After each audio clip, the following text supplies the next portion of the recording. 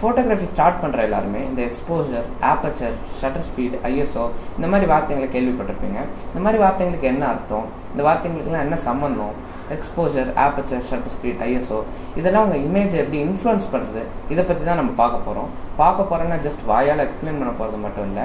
Real life examples பார்க்க போகிறோம் sample photos எடுத்து அதை கம்பேர் பண்ணி அனலைஸ் பண்ணி உங்களுக்கு இந்த exposure aperture shutter speed ISO பற்றின டீப்பான இன்ஃபர்மேஷனை ப்ரொவைட் பண்ண போகிறோம் அது மட்டும் இல்லைங்க இந்த வீடியோ கடைசி வரையும் பாருங்கள் ஏன்னா நம்ம கற்றுக்க போகிறது மட்டும் இல்லை ப்ராக்டிக்கலாக அப்ளையும் பண்ணி பார்க்க போகிறோம் நம்ம ரெண்டு ஃபோட்டோ ஷூட் பண்ண போகிறோம் அந்த ரெண்டு ஃபோட்டோ ஷூட்டுமே நம்ம கற்றுக்கிட்ட விஷயங்களை வச்சு கரெக்டான எக்ஸ்போசரை செட் பண்ணி மாசான இமேஜஸையும் எடுக்க போகிறோம் ஸோ இந்த மாதிரி இன்னும் நிறைய வீடியோஸ் நீங்கள் பார்க்கணுன்னா சேனலுக்கு சப்ஸ்கிரைப் பண்ணுங்கள் போயிடலாமா ஃபஸ்ட்டு எக்ஸ்போசர்னா என்னென்னு பார்ப்போம். அதுக்கு முன்னாடி ஒரு இமேஜ் எப்படி ஃபார்ம் ஆகுதுன்னு பார்க்கலாம். ஸோ ஒரு கேமராவோட சென்சர் எப்படி இருக்குன்னா லைட் அந்த சென்சர் மேலே படும். இப்போ அந்த சென்சர் அந்த லைட்டை டேட்டாவாக கன்வெர்ட் பண்ணி நமக்கு ஒரு இமேஜாக கொடுக்கும். ஸோ இப்போ எக்ஸ்போசர்னா என்னென்னு பார்ப்போம். எவ்வளோ லைட் அந்த சென்சர் மேலே படுதோ அதுக்கு பேர் தான் exposure the amount of light that hits the sensor is called exposure English definition so நீங்கள் இந்த மாதிரி சில இமேஜஸை பார்த்துருப்பீங்க. ஏன் நீங்களே கூட இந்த மாதிரி ஒரு இமேஜ் எடுத்திருப்பீங்க. இது ஏன்னு பார்க்கணும் இப்போது உங்கள் கேமராவோட சென்சர் இருக்குன்னா அதுக்கு ஃப்ரண்ட்டில் ஒரு மெக்கானிசம் இருக்கும். அந்த மெக்கானிசம் ஓப்பன் ஆகும்போது லைட் வந்து சென்சர் மேலே படும். இந்த மெக்கானிசம் க்ளோஸ் ஆகும்போது லைட்டு சென்சர் மேலே படுறது ஸ்டாப் ஆகிடும் இப்போது இந்த மெக்கானிசம் எவ்வளோ நேரம் ஓப்பனாக இருக்கோ அவ்வளோக்கு அவ்வளோ லைட் உள்ளே வரும். ஓகே ஸோ இதுதான் வந்து எக்ஸ்போசரை கண்ட்ரோல் பண்ணுது. இப்போ வந்து இந்த சென்சர் இருக்குது மெக்கானிசம் இருக்குது மெக்கானிசம் ஓப்பன் ஆகி ரொம்ப நேரமாக ஓப்பன் இருந்ததுன்னா நிறைய லைட் உள்ளே வரும். ஸோ நிறைய இன்ஃபர்மேஷன் வரதுனால நம்ம இமேஜும் ரொம்ப பிரைட்டாக இருக்கும். அதே இதுக்கு அப்படியே ஆப்போசிட்டாக இந்த மாதிரி இமேஜஸ் சில பேர் பார்த்துருக்கலாம் எடுத்திருக்கலாம். இது ஏன்னு சொல்கிறேன் இப்போது உங்கள் சென்சர் இருக்குது மெக்கானிசம் இருக்குது அந்த மெக்கானிசம் ரொம்ப ஃபாஸ்ட்டாக ஓப்பன் ஆகி க்ளோஸ் ஆச்சுன்னா ரொம்ப கம்மியான லைட் தான் சென்சர் மேலே படும். ஸோ ரொம்ப கம்மியான இன்ஃபர்மேஷன் தான் அவைலபிளாக இருக்கும். ஸோ வந்து இமேஜ் வந்து ரொம்ப டார்க்காக கேவலமாக இருக்கும். பட் நமக்கு வந்து ரொம்ப ஓவர் எக்ஸ்போஸ்டான இமேஜும் எடுக்கக்கூடாது ரொம்ப அண்டர் எக்ஸ்போஸ்டான இமேஜும் எடுக்கக்கூடாது. கரெக்டான எக்ஸ்போசரில் இமேஜ் வரணும். அதாவது நம்ம கண் ஒரு விஷயத்தை எப்படி பார்க்குதோ அந்த மாதிரியான ஒரு இமேஜ் வரணும். ஆர் நமக்கு என்ன லுக் அண்ட் ஃபீல் வேணுமோ அதுக்கேற்ற மாதிரி நம்ம இமேஜ் வரணும். ஸோ இதை எப்படி பண்ணுறது நம்ம எக்ஸ்போசரை கண்ட்ரோல் பண்ணணும். எக்ஸ்போசரை கண்ட்ரோல் பண்ணி தெரிஞ்சிருக்கணும். அது எப்படிங்கிறது தான் அடுத்தது பார்க்கலாம் பார்க்கலாமா? போங்க. போங்க பார்க்கலாம். எக்ஸ்போசரை கண்ட்ரோல் பண்ணணும்னா அதுக்கு நீங்கள் ஒரு முக்கியமான விஷயம் தெரிஞ்சிருக்கணும். அதுக்கு பேர் தான் எக்ஸ்போசர் ட்ரையாங்கிள் ஸோ நீங்கள் இப்போ எக்ஸ்போசர் ட்ரையாங்கிளை ஸ்க்ரீனில் பார்த்துட்ருக்கீங்க அதுக்கு மூணு காம்பனன்ட்ஸ் இருக்குது ஸோ ஃபஸ்ட்டு வந்து ஷட்டர் ஸ்பீட் அப்புறம் ஐஎஸ்ஓ அப்புறம் ஆப்பச்சர் இந்த மூணுத்தையும் நீங்கள் சேஞ்ச் பண்ணும்போது உங்கள் எக்ஸ்போசர் கண்ட்ரோல் ஆகும். பட் இந்த மூணுத்துக்கும் ஒரு ஒரு சைடு எஃபெக்ட்ஸ் இருக்குது so shutter speed aperture ISO இது மூணுத்தை பற்றியும் ஆர்டராக ஒன்றா நம்ம பார்த்துட்டு வருவோம். வாங்க. ஃபஸ்ட்டு ஆப்பச்சரை பற்றி பார்ப்போம். ஸோ எல்லா லென்ஸ்குள்ளேயும் ஒரு ஹோல் இருக்கும். அது வழியாக தான் வந்து லைட்டு போய் சென்சரை ரீச் பண்ணும். இப்போ வந்து அந்த ஹோல் வந்து எவ்வளோ பெருசாக இருக்கோ அவ்வளோக்கு அவ்வளோ அதிகமான லைட் உள்ள வரும். எவ்வளோக்கு எவ்வளோ அந்த ஹோல் சின்னதாக இருக்கோ அவ்வளோக்கு அவ்வளோ கம்மியான லைட் உள்ள வரும். ஸோ அந்த ஹோலை வந்து நம்ம பெருசும் பண்ணிக்கலாம் சின்னதும் பண்ணிக்கலாம். ஸோ இதை லென்ஸ்லேயே பண்ணலாம் இல்லை கேமராவில் ஒரு செட்டிங் இருக்கும் அது வழியாக பண்ணலாம். இப்போ வந்து ஆப்பச்சர் எப்படி கண்ட்ரோல் பண்ணுறது அப்படிங்கிறத வந்து பார்த்துட்டு வந்தேன் ஓகே ஃபஸ்ட்டு வந்து நம்ம ஆப்பச்சர் சேஞ்ச் பண்ணலாம். ஸோ மோஸ்ட் டிஎஸ்எல்ஆர் கேமராஸ்க்கு இதே ப்ரொசீஜர் தான். ஸோ என்னோட கேமரா மேலே ஒரு பட்டன் இருக்குது அதை அழுத்திட்டு அட் த சேம் டைம் என்னோட டயலை திருப்பினாலே போதும் ஆப்பச்சர் சேஞ்ச் ஆகிடும் ஓகே ஸோ இப்போ இந்த ஆப்பச்சர் எப்படி இமேஜை இன்ஃப்ளூயன்ஸ் பண்ணுறதையும் போய் பார்த்துட்டு வந்துருங்க. ஓகே ஸோ ஆப்பச்சர் எப்படி இமேஜை இன்ஃப்ளூயன்ஸ் பண்ணுதுன்னு பார்ப்போம்.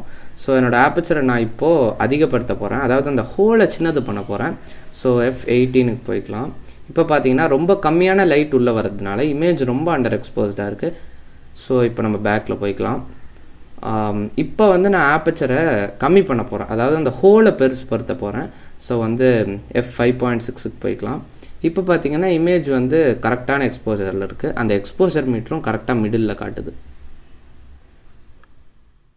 ஆப்பிச்சருக்கு ஒரு சைடு எஃபெக்ட் இருக்குது அது என்னென்னா depth of field depth of ஃபீல்ட்னா என்னென்னு தெரிஞ்சுக்கிட்டு இந்த ரெண்டு இமேஜையும் பாருங்கள் ஒரு இமேஜில் பார்ட் ஆஃப் த ஸ்கேல் தான் ஃபோக்கஸில் இருக்குது இன்னொரு இமேஜில் முழு ஸ்கேலுமே ஃபோக்கஸில் இருக்குது ஸோ இந்த இமேஜில் பார்த்தீங்கன்னா ஷாலோ டெப்த் ஆஃப் ஃபீல்டு இருக்குது அதாவது ஒரு பார்ட் ஆஃப் த ஏரியா தான் ஃபோக்கஸில் இருக்குது இன்னொரு இமேஜில் வைடர் டெப்த் ஆஃப் ஃபீல்டு இருக்குது அதாவது முழு இமேஜும் கிட்டத்தட்ட ஃபோக்கஸில் இருக்குது ஸோ வந்து ஆப்பச்சர் அதை எப்படி இன்ஃப்ளூயன்ஸ் பண்ணுதுன்னு பார்க்கலாம்.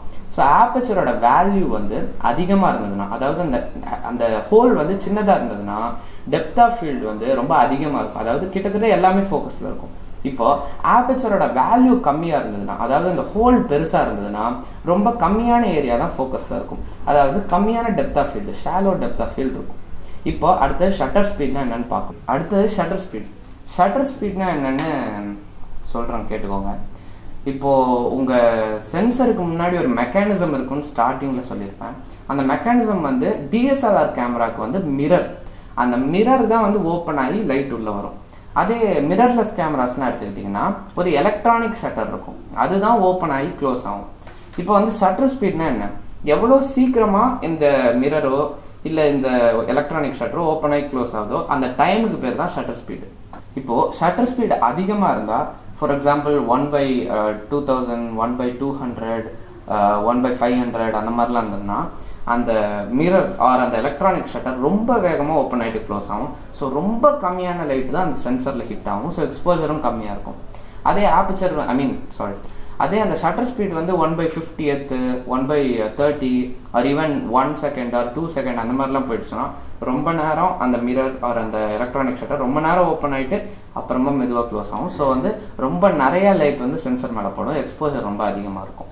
ஸோ வந்து இதுதான் ஷட்டர் ஸ்பீட் இப்போ வந்து இந்த ஷட்டர் ஸ்பீடை எப்படி கேமராவில் கண்ட்ரோல் பண்ணுறதுன்னு போய் பார்த்துட்டு வாங்க. ஓகே ஷட்டர் ஸ்பீடை சேஞ்ச் பண்ணுறது ரொம்ப ரொம்ப சிம்பிள் நீங்கள் அந்த டயலை திருப்பினாலே போதும் ஷட்டர் ஸ்பீட் சேஞ்ச் ஆகிடும் மோஸ்ட் ஆஃப் த கேமராஸில் இதே ப்ரொசீஜர் தான். இப்போ வந்து ஷட்டர் ஸ்பீடு எப்படி இமேஜை இன்ஃப்ளூயன்ஸ் பண்ணுதுன்னு போய் பார்த்துட்டு வாங்க. ஓகே ஷட்டர் ஸ்பீடை நான் இப்போ கம்மி பண்ண போகிறேன் அந்த இமேஜும் ரொம்ப அண்டர் எக்ஸ்போஸ்டாக இருக்குது இப்போ திரும்ப நான் ஷட்டர் ஸ்பீடை அதிகப்படுத்துகிறேன் ரொம்ப ஓவர் எக்ஸ்போஸ்டாக இருக்குது இமேஜ் இந்த இமேஜுக்கான கரெக்ட் எக்ஸ்போசர் கிடைக்கிறதுக்கு நான் ஷட்டர் ஸ்பீடை ஒன் பை ஃபிஃப்டியில் வைக்கிறேன். ஓகேங்க இப்போ ஷட்டர் ஸ்பீட் எப்படி ஒர்க் ஆகுதுன்னு பார்த்துருப்பீங்க. இப்போது ஷட்டர் ஸ்பீடுக்கு ஒரு சைடு எஃபெக்ட் இருக்குது இந்த ரெண்டு இமேஜஸையும் பாருங்கள் ஒரு இமேஜ் வந்து நான் ஷட்டர் ஸ்பீடை ரொம்ப கம்மியாக வச்சு எடுத்தேன். ஸோ அதனால் ஃபேன் வந்து ஓடுற மாதிரி சுற்றுற மாதிரியே இல்லை. நின்றுட்டு இருக்கு அது ஏன்? ஏன்னா ரொம்ப ஃபாஸ்ட்டாக ஷட்டர் ஸ்பீடு இருக்கிறதுனால ரொம்ப கம்மி நேரத்துக்கு தான் லைட் உள்ளே வருது. ஸோ அந்த ஃபேன் ஃப்ரீஸ் ஆகிற மாதிரி காட்டுது. அதே நீங்கள் அடுத்த இமேஜ் போயிட்டீங்கன்னா ஃபேன் வந்து கொஞ்சம் பிளர்ராக இருக்குது இது ஏன்னா ஷட்டர் ஸ்பீடை ரொம்ப அதிகப்படுத்தியிருக்கேன் அதனால ரொம்ப நிறைய லைட் உள்ள வரதுனால அந்த ஃபேன் வந்து சுற்றிட்டே இருக்கும் போது ஒரு பிக்சர் ஸ்னாப் பண்ணியிருக்கோம். ரொம்ப நேரம் அந்த ஃபேன் சுற்றுற மோஷனை கேப்சர் பண்ணியிருக்கு. ஸோ வந்து அதெல்லாம் ஒரே இமேஜில் காட்டுறதுக்காக அது அந்த ஃபேன் வந்து பிளர்ராக தெரியுது. ஸோ இதுதான் ஷட்டர் ஸ்பீடோட சைட் எஃபெக்ட் மோஷன் பிளர் இப்போ ஷட்டர் ஸ்பீடோட மோஷன் பிளர் வந்து ரொம்ப கெட்டதுலாம் கிடையாது. நம்ம கண்ணே மோஷன் பிளரை பார்க்கும். இப்போ நீங்கள் உங்கள் கையை வந்து கண்ணு முன்னாடி வச்சுட்டு இப்படி ஆட்டினீங்கன்னா உங்கள் கண்ணுக்கே கொஞ்சம் மோஷன் பிளர் தெரியும். அந்த மாதிரி தான் கேமராலையும் நம்ம நம்ம கண் எப்படி மோஷன் பிளரை பார்க்குதோ அதை ரெப்ளிகேட் பண்ண ட்ரை பண்ணும். அதுக்கு வேரியஸ் டெக்னிக்ஸ்லாம் இருக்குது அதுக்கு வந்து ஃப்ரேம் ரேட்டுங்கிற ஒரு விஷயத்த கற்றுக்கணும் ஸோ அதெல்லாம் வந்து டீப்பாக இந்த வீடியோவில் நம்ம போவேன்னா அது செப்பரேட்டாக ஒரு வீடியோவில் பார்த்துக்கலாம். ஸோ இவ்வளோ தான் ஷட்டர் ஸ்பீட் அடுத்தது நம்ம ஐஎஸ்ஓக்கு போயிடலாம்.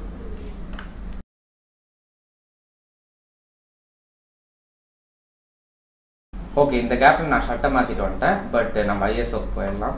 ஐஎஸ்ஓங்கிறது நம்ம கேமரா சென்சர் இருக்குல்ல அதோட சென்சிட்டிவிட்டி டு லைட் புரியலன்றீங்களா? சிம்பிள் இப்போ ஒரு டார்க்கான ரூமில் கொண்டு போய் நம்ம ஐஎஸ்ஓ ரொம்ப அதிகமாக வச்சுட்டு ஒரு இமேஜ் எடுக்க ட்ரை பண்ணோம்னா அந்த கேமராவோட சென்சிட்டிவிட்டி டு லைட் ரொம்ப அதிகமாக இருக்கும். ஸோ வந்து டார்க்கான ரூமாவே ரொம்ப வெளிச்சமான ரூம் மாதிரி காட்டும்.